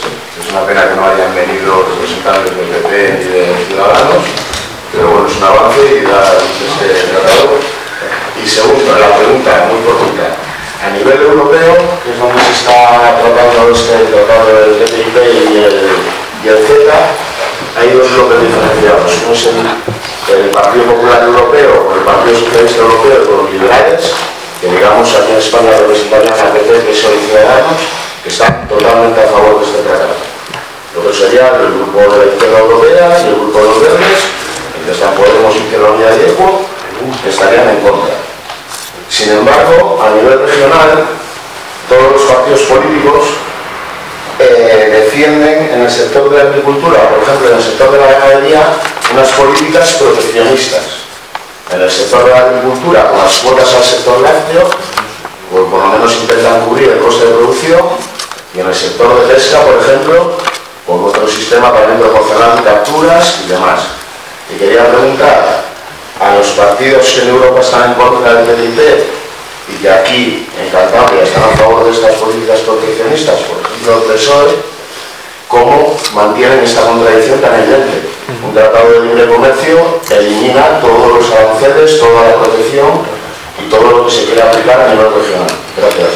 Vale, aquí supuestamente el tiempo es un minuto, así que te, te piden por un minuto a- concisión, pero bueno, Voy a intentar en un minuto contestarte. Lo primero es que el PSOE, hablar también, decir. el PSOE no está a favor del TTIP. Otra cosa es el SD. Y cuidado, no confundamos eh, el SD con el PSOE, principalmente porque en el SD, en cualquiera de los grupos o las familias del Parlamento Europeo, no existe la disciplina de voto. Hay que entender el Parlamento Europeo no como un Congreso, sino como un Senado. Y cada partido que está representando todas las familias vota según sus intereses nacionales. Y el PSOE no está a favor del TTIP.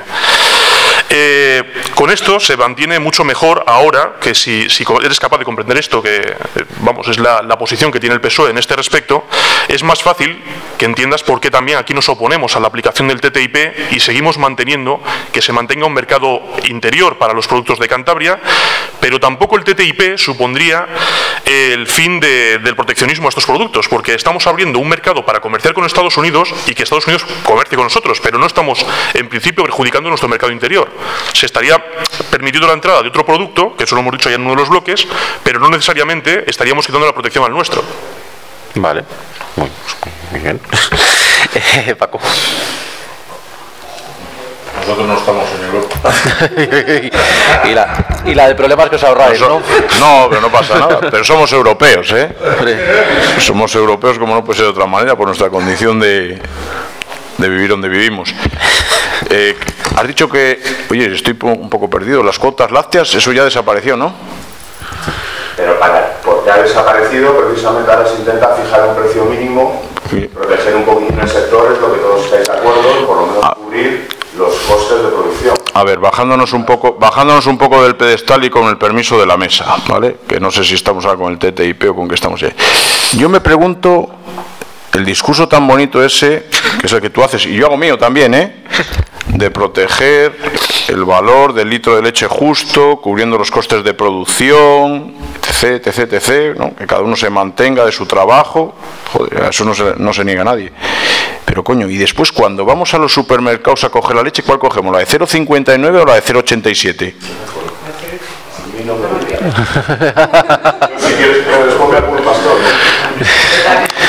Pues mira, eh, podemos cerrar la no, no podemos cerrar la puerta porque como estamos aquí, pero bueno, es que se da la circunstancia que yo también compro la del buen pastor. Vale, Paco. Vale, espera un poco. Espera, no, déjame, coño, si después habla Verónica que sabe mucho de TTIP, pero de vacas y esto. Que Víctor, que era el que más la ha criticado, se ha sometido a las normas. Perdona, perdona, Víctor, pero que va muy bien de tiempo. Vamos a ver, que yo también compro la del buen pastor, ¿vale? Y además le conozco al propietario y además he trabajado en aquel y tengo vinculación Vale, Paco. eh, afectiva. Pero, ¿sabes lo que pasa? Que es que está un rato más cara que otras, ¿eh? Entonces yo no sé por qué debíamos dejar todas en el lineal, las de 0,59, las de menos de 0,60, ninguno, como os voy a pasar a, a alguno por la caja comprando leche de menos de 0,70, vamos a tener problemas. Vale, pues nada. ¿Eh? ¿Vale?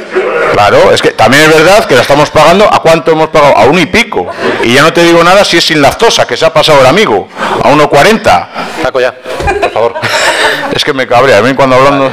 Vale. Perdona, perdona, ¿eh? pero No pasa nada. simplemente quiero decir que a veces también hay que ser consecuentes. Y no sé si cada uno... ¿eh? La mala leche, sí. Entra la mala leche. Eh, Verónica, por Es favor. que mi, mi respuesta es muy sencilla, ¿no? O sea, en el contexto del TTIP. Estados Unidos produciendo leche. Europa con sus normas produciendo leche. Obviamente, como tienes que eh, cuidar más y tienes más regulación, tienes unos costes de producción más altos. Llega el Parlamento de Cantabria, llega el Gobierno de España, llega la Unión Europea y toma medidas para ayudar a rebajar los costes de producción o para garantizar un precio justo. Hombre, es obvio que en este marco te va a venir una empresa de Estados Unidos y te va a decir, "Ch, quieto, estás haciendo que yo no pueda ganar dinero, porque estás protegiendo y estás incentivando que eh, tus empresas tiren para arriba y no estás financiando las mías. O sea, eh, obviamente, ¿qué nos van a hacer? ISDS o ICS, que es el nuevo nombre para decir lo mismo que se han inventado. Vale, una pregunta que nos trasladan por escrito, ¿vale? Es la literalmente, los tribunales de arbitraje ya vemos cómo están funcionando. Las multinacionales están demandando a los estados, los ejemplos ya los vemos. Eh, bueno, que se, o sea, por ejemplo, poner, el nombre de una empresa no, no consigo descifrarlo, pero denunciaron a Australia, una empresa, vamos, citaron el nombre de una empresa que denunció a Australia, ¿no? No podemos tener tanta fe en el TTIP, nos dice la pregunta.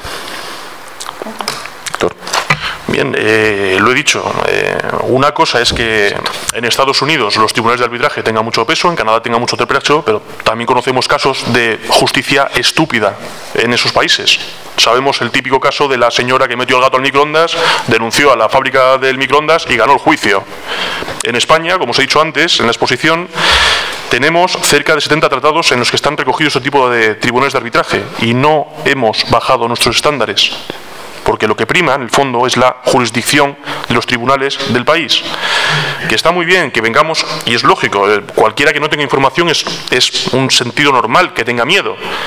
Pero, hombre, abramos un poco los ojos, veamos cómo estamos funcionando, veamos que no, no ha sido tanto como se preveía el tema de los tribunales de arbitraje y, sobre todo, tengamos en cuenta una, confianza en nuestro sistema judicial. Llevamos, como os digo, más de 60 años funcionando con esto, llevamos eh, 70 tratados en los que están recogidos y no ha variado nada la jurisdicción de los propios tribunales españoles. No va a pasar lo que pretende el TTIP. Muy bien, Paco. ¿Cuál es la pregunta? Porque al final la pregunta Bueno, te, has liado ahí con la, te has liado ahí con la empresa esa que ha denunciado a Australia ya no, y Pues el otro metió el gato en el microondas. la- la- Cadera. estaba- Sí, Jim Morris también, como... Bueno, es un ejemplo como vamos, tampoco nos vamos a perder en el ejemplo. ¿Qué vamos a volver? ¿A hablar de los tribunales de arbitraje? Si Es estamos una pregunta que quiere profundizar en ese tema. En, bueno, pues es un matiz respecto a lo que a las posturas que tienen más fe. Si Pues según escucho a. Víctor, hay por ahí funcionando 70 tribunales de arbitraje, que yo no he visto ninguna, nunca ninguno, ¿eh? Yo oigo otros, pero los de arbitraje no, no he tenido la ocasión. Pero vuelvo a manifestar lo que hemos manifestado antes. Si un tribunal de arbitraje, por encima de nuestro reglamento español y europeo, nos va a hacer ponernos en peligro, nuestros niveles de protección jurídica, constitucional, derechos humanos, en lo que vosotros queréis decir, pues nunca estaremos a favor. O sea que no por eso, no por eso, no por ese camino. Vale, Verónica. No, yo es que he hablado ya varias veces de mi opinión acerca de, este tipo de tribunales. Obviamente eh, nos posicionamos totalmente en contra y vuelvo a repetir, es que porque sabemos lo que significan, porque sabemos de casos a nivel internacional y lo que está implicando para los distintos estados, no los queremos y no los vamos a querer nunca. Mira, esta pregunta es bastante interesante porque aporta un asunto del que se venía hablando poco y además un fenómeno muy español, que es el del, rescate de las autopistas, que es una cosa que es tan española como la tortilla de patata casi. Entonces, bueno, el Ministerio de Fomento, la pregunta tal cual, el Ministerio de Fomento prevé nacionalizar las autopistas para compensar el, agujero de las radiales y otras autopistas ruinosas. Pero si el Estado se queda con ellas y cede la deuda a fondos de inversión privados que se acojan al TTIP, para recuperar la inversión se haría vía tarifa por el uso de las autopistas rescatadas y del resto de autopistas cuya concesión vaya venciendo y sobre todo por el pago por el uso de la vasta red de autovías del Estado. Viene a decir ¿no? que, si el, que si un fondo se acoge al TTIP, que eso lo pagaríamos al final los usuarios de la, de la carretera. ¿Qué opinión les merece esta posible derivada del TTIP? Víctor. Difícil de creer, difícil de creer. No porque no sean capaces de cargarnos el muerto, como ya pasa con el tema de los bancos, eso no, no pongo eso en duda, sino porque la, Unión Europea, que está pretendiendo que España liberalice el resto de los mercados de, de, transportes, permita que se nacionalicen las autopistas. Eh, o sea, viendo cómo funciona la Unión Europea y qué es lo que está exigiendo para el resto de sectores de este ámbito, que permita que se nacionalicen, aunque solo sea para quitar la deuda, que podría pasar, me extrañaría muchísimo. De ahí a que se vayan a, después de destinar la deuda a fondos de inversión del TTIP, pues también lo veo relativo. Esto se, mm, sí, oye, pues podría pasar. También tendríamos que aprobar primero el TTIP para que pudiese acogerse eso. Y estamos hablando de que tienen que aprobar los 28 parlamentos de la Unión Europea, cosa que no va a pasar. Lo bueno que tiene el TTIP, y que es una cosa con la que voy a decir, van a hacer muerto desde ya. Igual que la, la Constitución Europea. vale. Muy bien. Paco, respecto. Acabamos de tener un aborto. Yo no sé si van a hacer muerto o no van a hacer muerto. De momento parece ser que no ha tenido ginecólogo que le vigile nada más que los que lo estaban. Oye, una cosa, ¿con TTIP o sin TTIP? Es que le habéis cogido una manía al TTIP sin conocerle, que yo, yo, la verdad que yo no tengo ninguna confianza también en que vayan a parir nada bueno de ahí, ¿no? Pero, pero sí que sabemos algo de las autopistas estas de peaje. Con TTIP o sin TTIP, con estas autopistas de peaje nos la han metido doblada ya.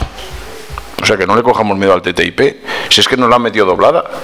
Si es que han ganado dinero construyéndolas y ahora cuando no están ganando dinero explotándolas, nos las van a devolver. ¿Las vamos a pagar sí o sí? Sí o sí. ¿Con TTIP o sin TTIP? Creo yo. ¿eh? O sea que aquí el problema no está en el TTIP. O nos oponemos de alguna otra manera o inventamos algo la R2 pocas veces la he cogido cuando he ido a Madrid. Una vez que, me, que me confundí. Joder, iba solo. Acabamos, Paco. Gracias. que ni figura. Eh, bueno, no sé qué queda. Creo que España es el país de los rescates sectoriales eternos y permanentes. Eso está claro. Eh, y, no solo de los rescates sectoriales, sino también de la firma de, de, acuerdos comerciales, que en este caso podría ser, como hemos visto el caso eh, Castor, ¿no? en el que una empresa realiza una inversión, no obtiene los beneficios que quiere y el Estado se hace cargo. Esto podría ser otra parte de lo mismo, que un fondo compre eh, la concesión de una autopista, que no pasen tantos coches como ellos asuman y que nosotros acabemos además pagándolo. Y que además ellos lo van a pagar obviamente a un precio muy bajito, porque aquí en España ya sabemos que los precios que ponemos son, son ridículos. Muy bien. Y luego es una pregunta, la última, de, de momento la última de las preguntas que nos trasladan desde el público, que es prácticamente una llamada, una petición casi a la acción, ¿no? Es por qué no apoyar a los movimientos sociales en una petición democrática de transparencia en este sentido. Bien, la pregunta se las trae. Eh, no, no, sí, no, sí, no, hasta cierto punto es fácil, lo hemos dicho en el primero, en el primero de los puntos. No es que no se apoya a los movimientos sociales a la hora de pedir transparencia. Cualquiera, cualquier ciudadano como ciudadano quiere que haya transparencia en este tipo de negociaciones. El problema es hasta qué punto puede hacerse transparente este tipo de negociaciones. Y ahí está donde radica fundamentalmente el problema.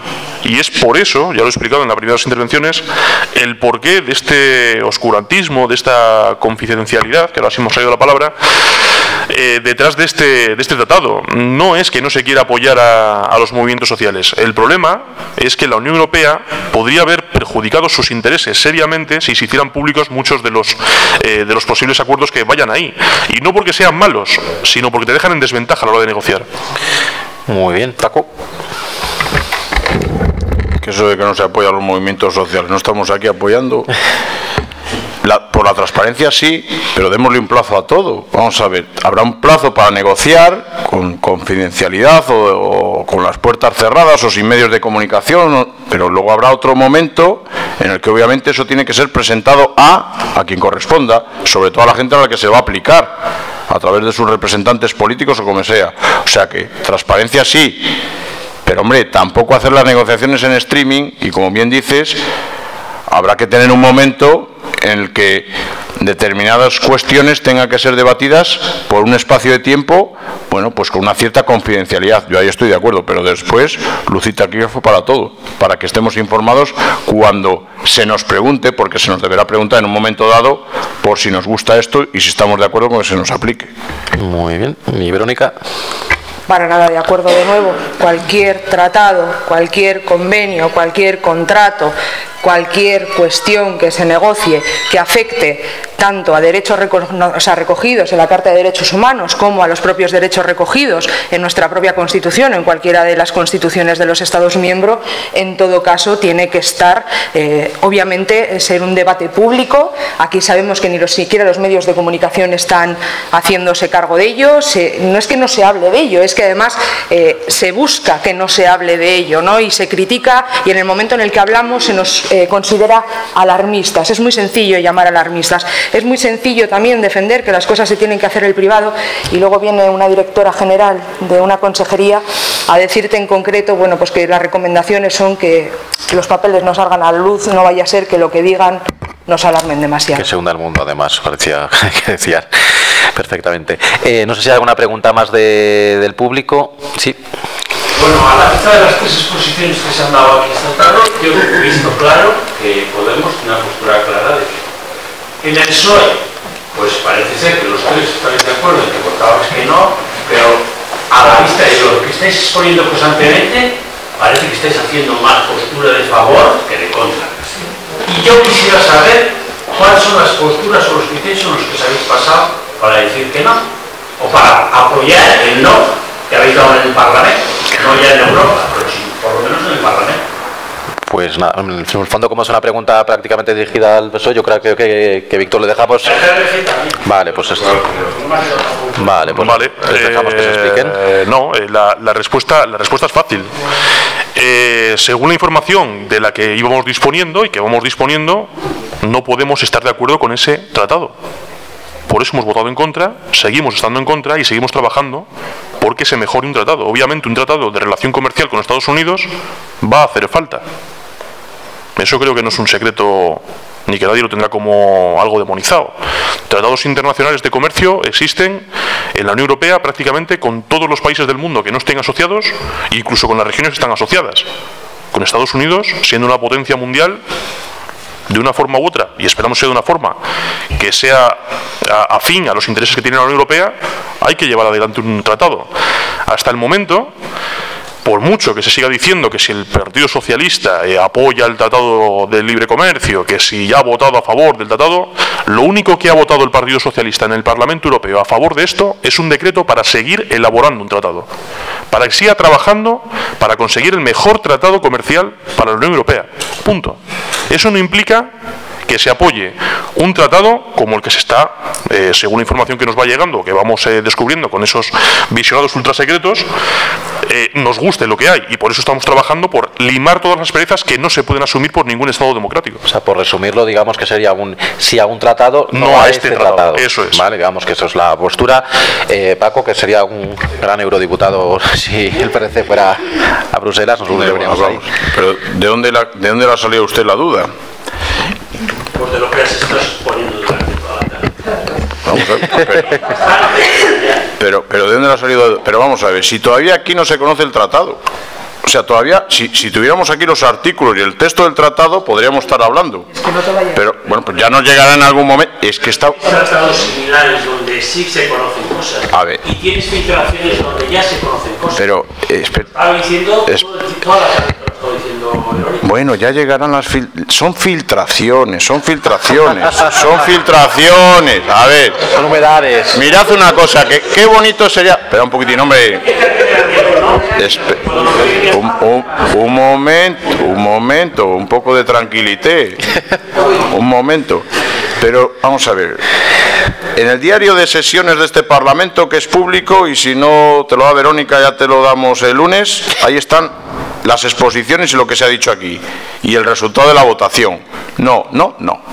Nosotros, nosotros, desde el Partido Regionalista, ¿eh? que no estamos ni en, ni en Madrid, que estamos aquí, ¿sabes que hemos defendido siempre los trabajos, la gente, la pequeña empresa, los artesanos, los pueblos, que se fije la población en los pueblos también, no solamente en Santander, en Reynosa, incluso en Astillero. No, que tengo que. No, déjame un poquitín desplayarme, hombre. Víctor Sánchez, Víctor Pero que, no me ha quedado claro, no me ha quedado claro. Bueno, no te ha quedado claro, no te ha quedado claro. Se ha votado que no. Hemos dicho que no. Estamos diciendo aquí que no y no conocemos todavía el dichoso tratado. ¿Cuáles son los criterios en los que te has basado para votar que no? Que no le. Nada más. No es que no. Que no, que no se conoce, que no se conoce y simplemente por lo que no está. Que no se conoce ya el Coño, ¿y tú has votado que sí? Pues no, tampoco habrá votado que no, pero si nos estamos posicionando todos aquí que no sin conocerle.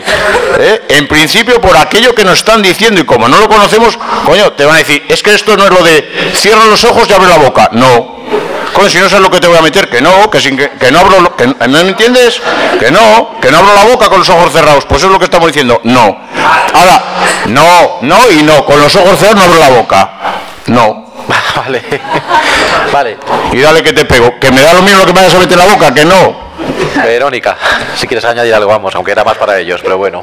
No, sé, simplemente decir que hay información suficiente disponible a través de las distintas plataformas, de las distintas asociaciones, de los distintos colectivos, para que todo el mundo pueda estar informado sobre qué implica este tratado. O sea, eh, cualquier persona que quiera conocerlo, hay información de sobra. El que no quiere o el que mm, intuye que esto no va a ser tan malo será porque no se ha leído la documentación.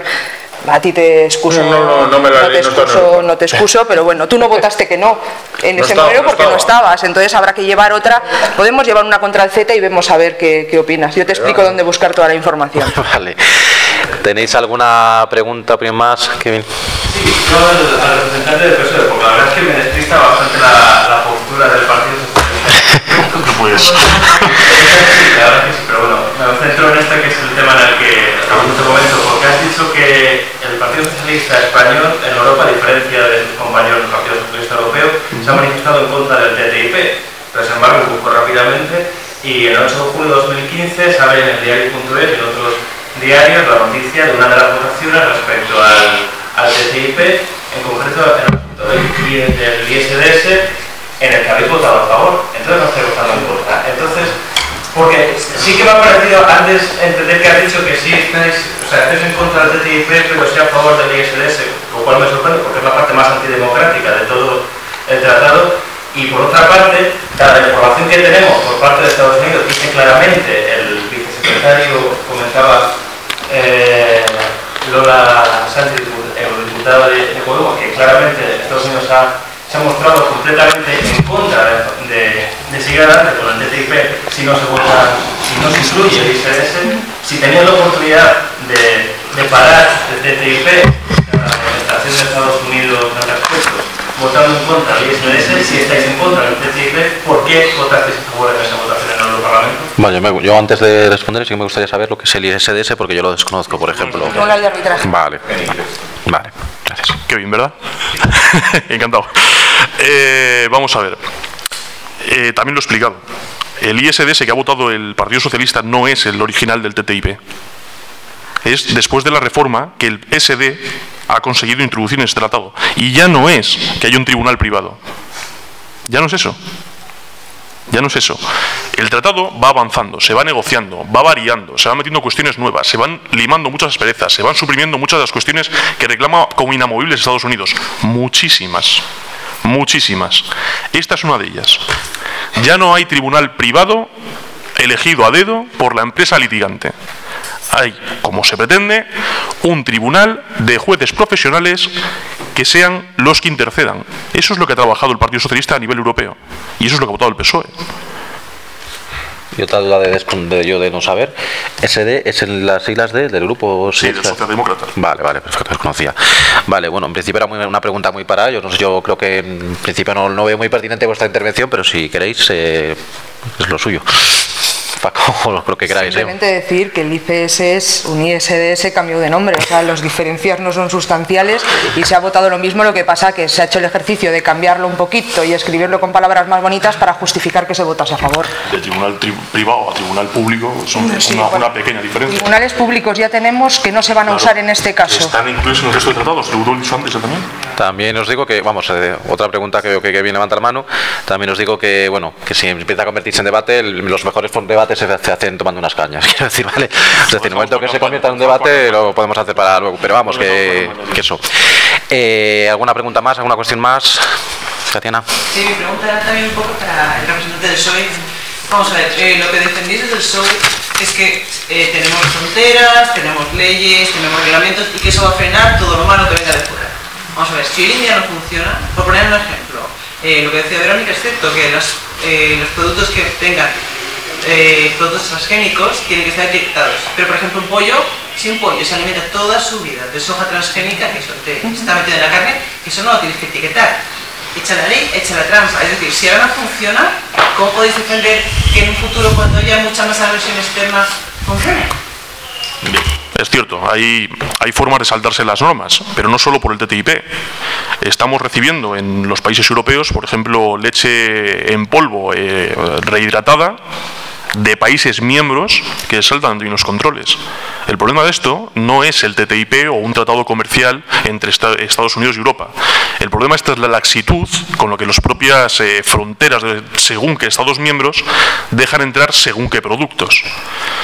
Esto con o sin TTIP, salvo que haya una inversión brutal a la hora de controlar los propios productos que circulan por nuestras fronteras, no va a cambiar. Pero eso es independiente al tratado, al tratado de libre comercio con Estados Unidos. ¿Queréis añadir? Es pregunta para él, que bueno, que como veáis. Solo, solo añadir que hay una cosa en la, que, en la que puedo llegar a coincidir. El problema no es solamente el TTIP, el problema es el TTIP es uno de los problemas más de una Europa centrada en el capital y no en los pueblos.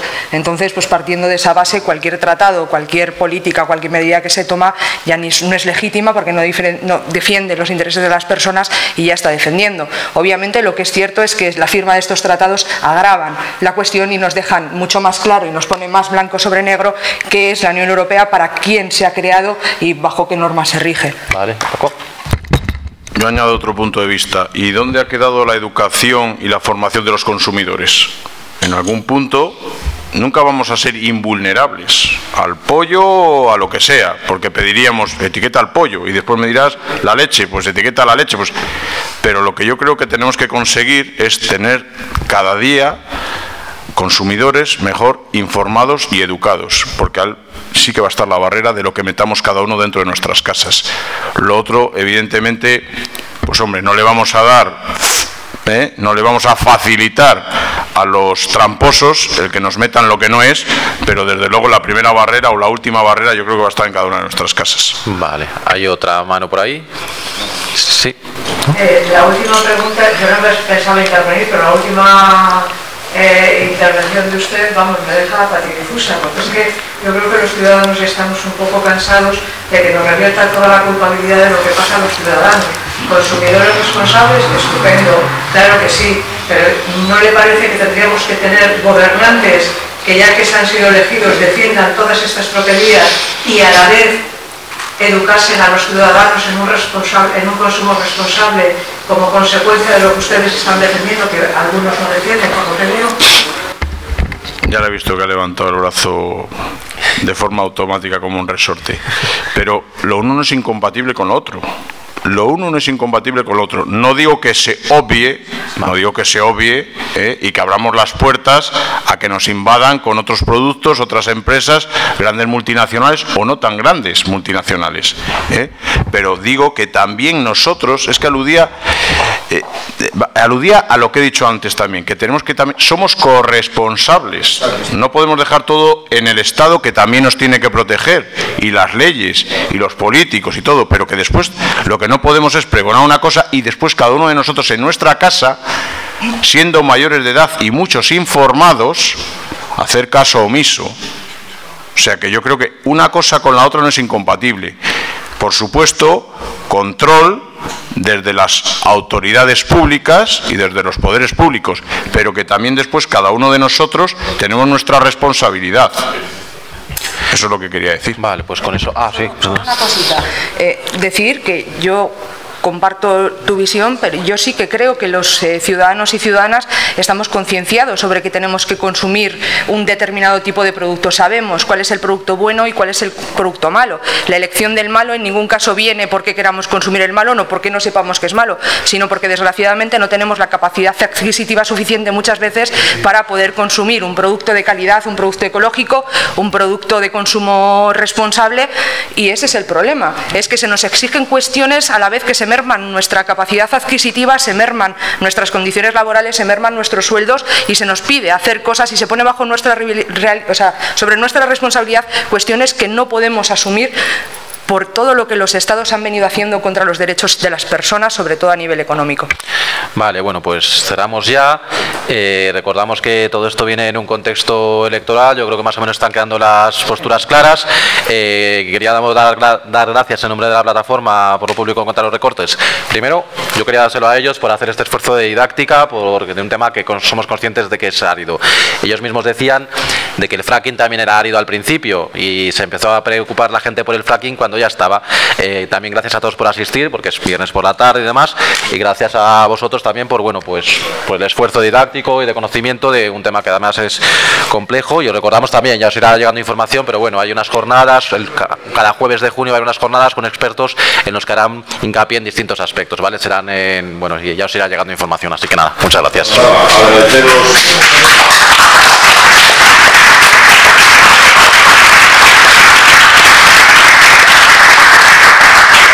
de la plataforma que haya sido tan valientes en presentaros aquí ante el público y eso, ¿no? a, hablar sobre el TTIP. Creemos que es algo importante, que la ciudadanía tiene que estar al día. No podemos esperar a que un día esté aprobado y digamos, aquella fe que teníamos, pues mira dónde se fue, ¿no? Entonces, esto es un principio de lo que queremos hacer durante este mes, ¿no? Abrir el debate de la ciudadanía sobre el tema del TTIP.